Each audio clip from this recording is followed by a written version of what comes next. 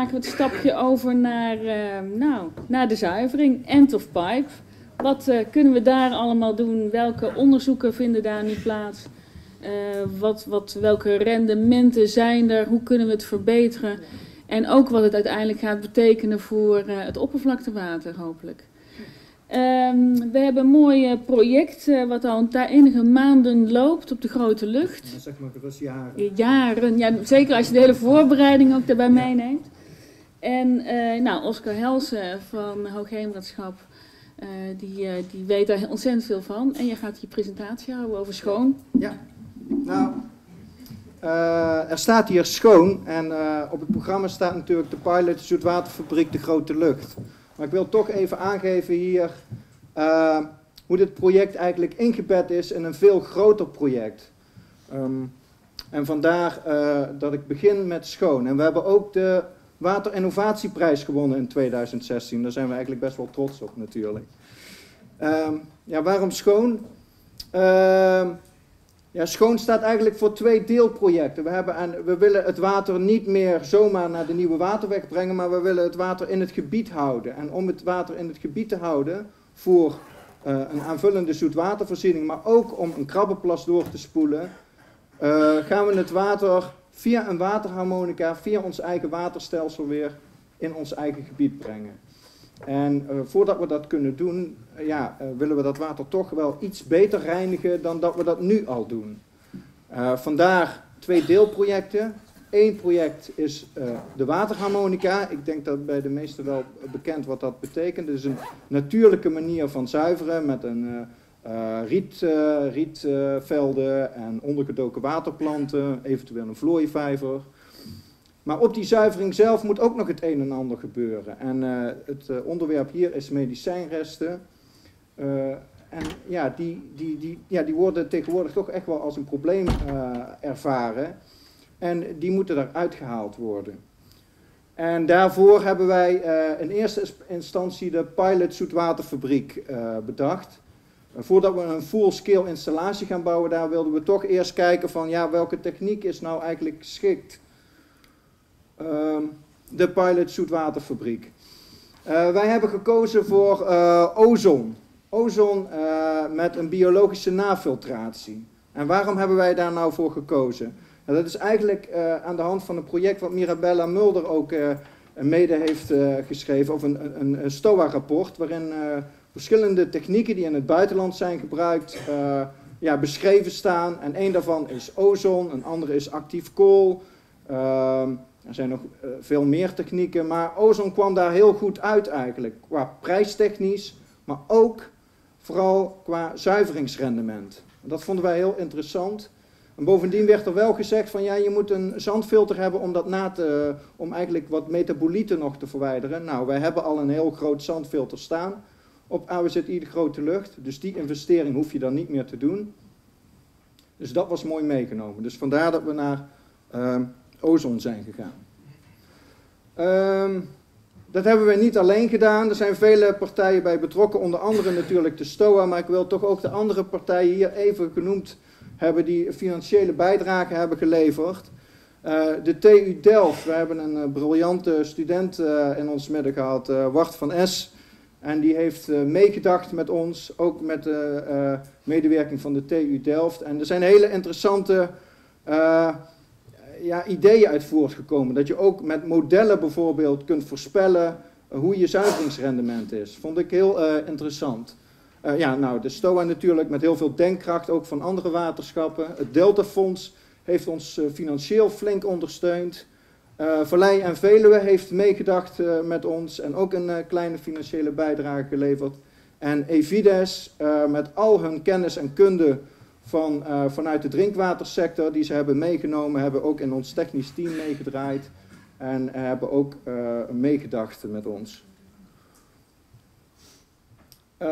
Ja, en we hebben het hier over medicijnresten, maar de problematiek is natuurlijk vele malen groter. Het is maar een heel klein onderdeel van al die stoffen die we in ons eh, effluent aantreffen. Ik bedoel, eh, medicijnresten, maar ook allerlei schoonmaakproducten waar allerlei stofjes in zitten. Corrosieremmers bijvoorbeeld.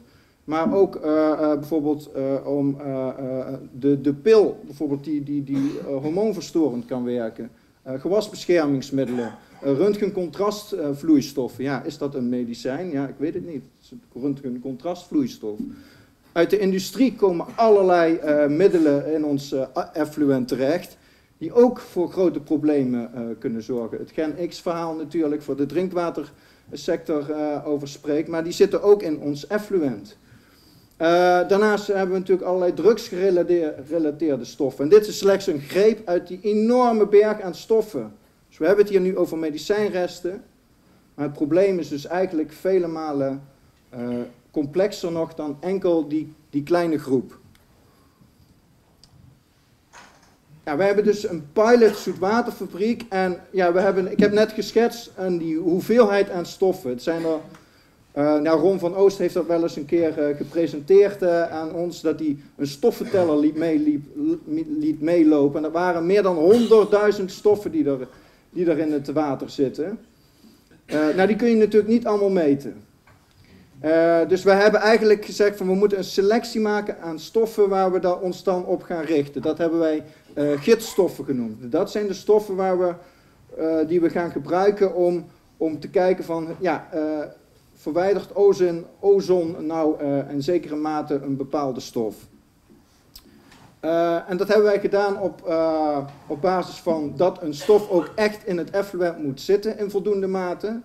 Want sommige stofjes die kun je niet meten, zoals de vorige spreker ook al aangaf. Daarnaast hebben wij ook nog gekeken naar van, ja, heeft ozon daar op basis van de literatuur ook wel een effect op? Wordt het afgebroken of wordt het juist wat minder goed afgebroken? Dan is dat ook een goede maatstaf. Is ook een belangrijke om mee te nemen. En dan hebben wij ook nog gekeken naar andere projecten, bijvoorbeeld de Schone Maas Waterketen, PACAS project. Welke stoffen hebben zij nou geselecteerd en kunnen we daar uh, uh, in kijken of we niet een beetje dezelfde stoffen uh, meenemen? Het is een heel ander project. Het is ook een hele andere manier van meten, maar toch om te kijken van iets van vergelijken van zien wij nou hetzelfde of zien wij hele andere zaken. Nou, dat, dat heeft geleid tot deze uh, rij van stoffen, uh, twee uh, bestrijdingsmiddelen, een rijtje medicijnen, één röntgencontrastmiddel en een corrosieremmer. Ja, om niet alleen die gitstoffen uh, uh, te meten, hebben wij ook gedacht van ja, je moet eigenlijk toch ook af en toe een hele brede screening doen. Dus we hebben ook doelstoffen uh, gemeten. Die hebben we een aantal keer maar gemeten. Maar zoals jullie hier het hele lijstje zien, het is een enorme lijst aan allemaal soorten middelen. industriële stoffen, maar ook de hele rijke wasbeschermingsmiddelen. Uh, dit soort pakketten, dat moeten ook heel veel verschillende analyses voor gedaan worden, zijn behoorlijk duur als je die wil uitvoeren. Dus die willen we ook heel erg uh, beperkt maar inzetten. En eigenlijk ook vooral om een idee te krijgen van, goh, wat zit er nou in en, uh, en, en, en hoe verhoudt zich dat tot die andere stoffen.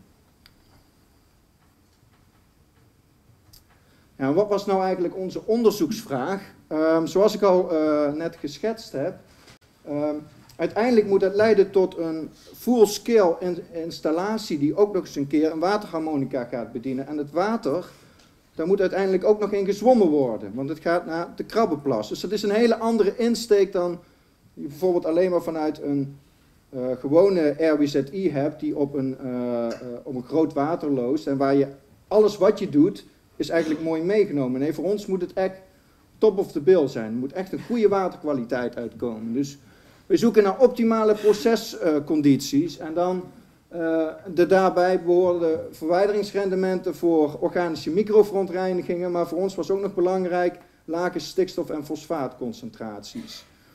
En verder, uh, met ozonisatie is er uit de literatuur ook bekend en uit andere onderzoeken dat er metabolieten zouden kunnen ontstaan. Ook daar wilden wij iets over te weten komen, van ontstaan die er en wat is de toxiciteit daarvan? Uh, uh, ook om te bepalen van ja, is die uh, biofiltratie die je daarna nog doet, na die ozonisatie, is die eigenlijk wel noodzakelijk of kan die achterwege blijven? Wat is, wat is de toegevoegde waarde van die biofiltratie? Nou, hiervoor hebben wij een aantal procesconfiguraties bedacht. in de eerste plaats heb je natuurlijk je, je bestaande zuivering. Daar worden ook al wat medicijnresten verwijderd. Ehm, alhoewel, als ik naar onze resultaten kijk, is dat nog niet zo makkelijk om dat te bepalen. Hele hoge standaarddeviaties, dus soms lijkt het of stoffen geproduceerd worden, dan weer uh, worden ze in grote mate verwijderd. Uh, we zijn ook bezig met die uh, analyseresultaten te, ja, te, te, beoordelen. Maar het is een lastig verhaal, die zuiveringen. Ook als ik het vergelijk met, met Papendrecht bijvoorbeeld. Het is, het is ingewikkeld hoe dat werkt in zo'n zuivering. Het is niet zo 1, 2, 3 duidelijk wat dat nou doet. Nou, vervolgens hadden wij een ozoninstallatie staan. Nou, die verwijdert een bepaalde mate uh, medicijnresten en daarna nog een biofiltratie, waar wij ook stikstof en fosfaat in verwijderen. En daarnaast eigenlijk de mogelijke metabolieten die er ontstaan na ozonisatie. Ehm, dus dit was één configuratie, dat is fase 1. En we hadden ook nog een tweede configuratie, die hebben we later gedaan. En dat is ehm, eigenlijk een beetje hetzelfde, alleen hebben we die nutriëntenverwijdering en de uh, biofiltratie uit elkaar getrokken. Dus eigenlijk zeggen we dan, we gaan eerst die nutriënten verwijderen en pas dan ozonisatie en biofiltratie toepassen. Deze uh, uh, analyseresultaten die heb ik nog niet, daar zijn we nog mee bezig. Dus ik ga alleen maar wat vertellen over de fase 1 en dan vooral toegespitst op medicijnresten. Dus ik ga niks vertellen over stikstof- en fosfaatverwijdering, ook vanwege de tijd. Nou, verwijdering van organische micro, micro's door ozonisatie. Ja, in de eerste plaats was de vraag van hoeveel ozon moet je nou doseren? Wat is nou een goede maat van ozondosering? Heel veel ozon doseren kost ook heel veel geld heel weinig ozon, ozon doseren ja, levert maar hele lage verwijderingsrendementen op. Dus hoe bepaal je nou uh, wat voldoende is? Nou, dat hebben wij gedaan aan de hand van verschillende ozondoseringen. Onderaan op de horizontale as ziet u verschillende ozondoseringen. En dat is dan uitgedrukt in grammen ozon per gram DOC. En uh, even belangrijk in dit plaatje is de stippenlijn die u erin ziet staan. Dan ziet u op een gegeven moment dat hij een knik maakt. Dus heeft, eigenlijk heeft hij een stijgende lijn, die stippenlijn. En bij uh, eh, 1 gram ozon over 1 gram DOC ja, maakt hij een knik. En dan zie je dus dat meer ozon doseren niet meer zoveel toe, toevoegt. En die stippenlijn, dat is de gemiddelde verwijdering van al onze gidsstoffen. Dus wij hebben gedacht van nou, dan gaan we dus op 1 zitten. Dat lijkt ons dan een mooie maat. Dan, dan, dan hebben we eigenlijk de maximale uh, ozon... Uh, de maximale verwijdering, uh, meer ozon, ja, voegt eigenlijk niet meer zoveel toe. Dus daar zijn we mee verder gegaan. Nou, dat zijn dit nu de eerste resultaten. Ik heb even twee uh, gidsstoffen eruit gelegd, omdat die um, ja, heel duidelijk laten zien wat er nou gebeurt. Benzotriazol, dat is geen medicijnrest, maar dat is een corrosieremmer. En oxazepam, nou dat is heel duidelijk een medicijnrest. En wat je bijvoorbeeld meteen ziet als je naar de blauwe uh, staafdiagrammen kijkt alleen, ja, dat ze heel erg verschillen. Dus op dezelfde datum laat de ene een hoge zien en de andere een lage. Dan weer de andere een hoge en dan weer... Dus het is niet zo dat dat allemaal in gelijke uh, mate in het water zit. Er is dus ook een hele grote fluctuatie in de samenstelling van het effluent. En dat verandert ook over de tijd. Uh, dus dat maakt het heel lastig om, om, om, om conclusies te trekken. Uh, wat we wel hieruit heel duidelijk kunnen zien is dat als wij uh, ozon doseren, dat zijn de oranje balkjes, dan zien we een enorme verlaging van de concentratie. en we zien ook dat als, als er bijvoorbeeld meer in zit, dat die verlaging dan iets minder is. Maar procentueel gezien eigenlijk gelijk. En dat zullen we in het volgende plaatje ook zien. Uh, en wat hier ook uit af te leiden is, is dat uh, zandfiltratie na ozon ja, eigenlijk niets meer doet aan de verwijdering van medicijnresten. Dat verwachten we ook niet, maar dat, dat zien we hier dus ook nog. Het, het, het blijft min of meer gelijk. Ja, als we dan gaan kijken naar de verwijderingsrendementen van onze gidsstoffen van fase 1, dan hebben we hier de figuur met onderaan al onze gidsstoffen. En de blauwe staafdiagrammen Dat is het verwijderingsrendement na ozonisatie. En eh, de gele uh, staafjes, dat zijn de verwijderingsrendementen na ozon- en zandfiltratie. Um, ja, wat kunnen we hierover zeggen? Nou, we zien voor uh, behoorlijk wat stoffen hele hoge verwijderingsrendementen. Even belangrijk hier om mee te nemen is ook dat dit gaat over de pilotinstallatie. Dus het is eigenlijk al water wat door een biologische zuivering is gegaan en pas dan door de pilot gaat. Dus het is het effluent wat we nog zuiveren. Dus er is al een deel verwijderd in de zuivering zelf. En dat is met name belangrijk uh, voor uh, metformine. Want als wij kijken in, uh, in, de zuivering zelf, dan weten we dat metformine in ieder geval voor een groot deel wordt omgezet. ik weet in, inmiddels dat dat guanylureum is waar het naar wordt omgezet. Dus je ziet dat er een ander metaboliet ontstaat. Maar toch, je toont hem in het, hij verlaagt in concentratie aanzienlijk. Maar met ozon en met formine, dan zie je dat dat wel wat minder goed verwijdert. Dus uh, rond de 35% En ook die standaarddeviatie is wat groter. En voor een groot aantal stoffen, benzotriazol, diclofenac, sotolol, oxazepam, zien wij verwijderingsrendementen van boven de 90% met ozondosering. Nou, ik denk dat dat een heel mooi resultaat is. Ook gegeven de, de standaarddeviatie die je ziet, het is eigenlijk een hele betrouwbare manier om, om medicijnresten te verwijderen. Zeker ook als ik wat verder klik, want dit waren de gidsstoffen. Maar we hebben, zoals ik net al zei, we hebben ook een aantal doelstoffen uh, gemeten. En als ik daar alle medicijnresten nou eens een keer uitpak en, en die, die eens gaat bekijken van ja, wat is daar nou de, de verwijderingsrendementen van? Dan zie ik dat een behoorlijk aantal 100% verwijdering heeft. 100%, dat wil zeggen uh, beneden de rapportagegrens van de laboratoria uiteindelijk in het effluent. Dus daar zit nog wel een nuanceverschil in. Maar ook, en daar hebben we de TU Delft dan weer uh, voor, dat ze uh, modelmatig hebben berekend eigenlijk dat ze ook daadwerkelijk voor 100% verwijderd worden. Dus als je dit bekijkt, dan denk je van, goh, dat doet het eigenlijk wel heel erg goed. En als we dan inzoomen op onze gidsstoffen, dan hebben wij genomen bijvoorbeeld uh, metformine. Ja, die, die haalt het enorm omlaag. Dus als je daar een gemiddelde van gaat nemen, ja, dan kom je heel anders uit. Maar als je dus veel breder kijkt, dan haal je eigenlijk hogere verwijderingsrendementen. En dat hebben wij ook gedaan voor uh, pesticiden en voor corrosieremmers. We hebben gewoon gekeken in het brede verhaal.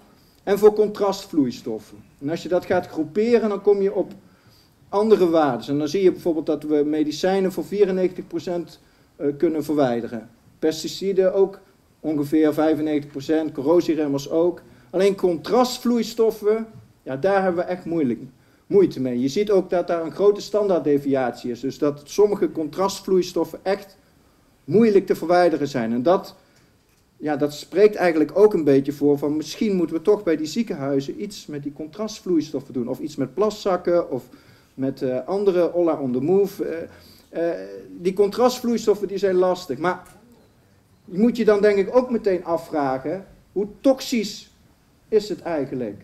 Want daar gaat het uiteindelijk om. Hoe gevaarlijk zijn die contrastvloeistoffen eigenlijk? Want in ons eigen lichaam, ja, wij kunnen ze ook verdragen, we plassen ze weer uit. Dus een belangrijkere vraag is eigenlijk van, ja, hoe toxisch is alles nu wat we hier allemaal meten? Moeten we wel zo ver verwijderen? Daarvoor hebben wij in ons onderzoek ook uh, allerlei bioassays uh, uh, gedaan. Daar heb ik helaas nog geen resultaten van. Dus ja, voordat jullie denken, nou, nou gaat het komen. maar daarvoor moeten jullie echt wachten tot het STOA-rapport. Het is natuurlijk een mooie cliffhanger om, om straks ook dat STOA-rapport te lezen. Maar we hebben bijvoorbeeld, voor ons wel belangrijk, is desinfectie. Want uiteindelijk gaan daar ook mensen in dat water zwemmen. En wat wij zien is dat ozon ook, en zeker in de dosering van 1 gram ozon per 1 gram DOC hele goede desinfectiewaardes uh, laat zien.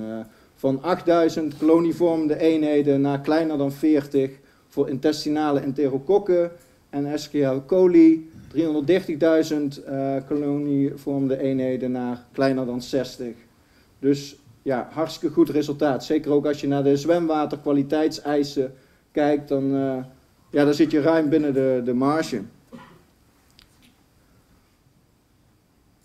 Ja, dan kom ik nu tot mijn conclusie.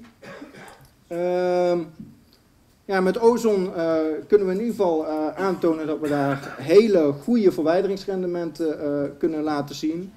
Ook stabiel, dat vind ik ook wel heel belangrijk. röntgencontrastvloeistoffen zijn dus wat lastiger. We hebben natuurlijk wel al wat eerste resultaten uit die toxiciteitsmetingen. En dat ziet er eigenlijk heel erg goed uit. Valt mij heel erg mee. wat ik tot nu toe heb gezien. Maar het is maar een deel van de resultaten. We moeten het ook nog interpreteren, dus ik wil ze hier niet uh, al uh, presenteren. En we hebben natuurlijk desinfectie. Dat was mijn verhaal. dank jullie wel.